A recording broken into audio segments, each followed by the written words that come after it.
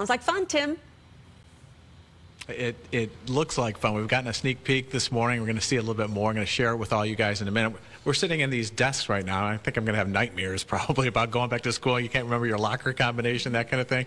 But it's appropriate that we're kind of sitting here because this theater is all about youth and kind of empowering youth. They get really involved in this whole process. And here to tell us about it, on my left, this is Reggie Simon, who's a producing artistic director. Thanks for joining us. Hello. So tell us a little bit about Filament Theater and the Spark program that you guys are using. Yes. Um, so at Filament, we are believers that youth should be at the center of everything that we do. And so in all of our plays, we have youth input. We work with youth collaborators. And for Spark, we're particularly excited about Think Fast, Jordan Chase because that means that we've had youth collaborators and youth input from the very beginning of this process all the way through to now production we're about to open.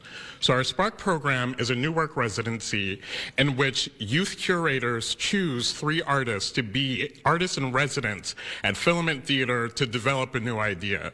So they curate the season of plays or they curate the artists that we choose. And then those artists have a moment to work with the youth collaborators during workshops in which we have discussions, we have workshops, we draw, we talk, we have interviews. And Think Fast Jordan Chase has done exactly that. And we're so excited about it. And you've got the artist in residence here that was chosen. This is Sonia Goldberg. Thanks for joining us. Oh, thank you. And you're Chicago dramatic actress, among other things, right? But you're helping them write this screenplay. How was that process like for you? I literally just had the idea of a choose your own adventure anti bullying play, and then I worked with them to develop the characters, the plot, the theme. So it was only a sentence, and working with the youth helped me come up with literally everything.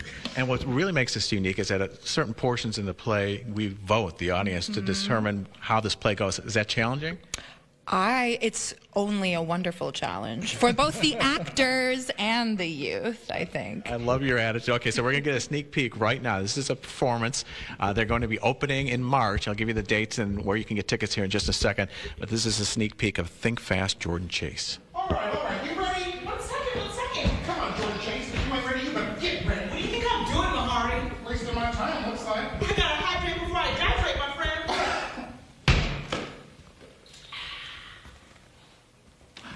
Once upon a time. Hey, you said I can start this time. That's before you started wasting my time. Hey, shut up. Hold up. Hold on. Once upon a time, there was a king, a mighty king, who ruled over all civilization. The other nobility were distrustful of this king because...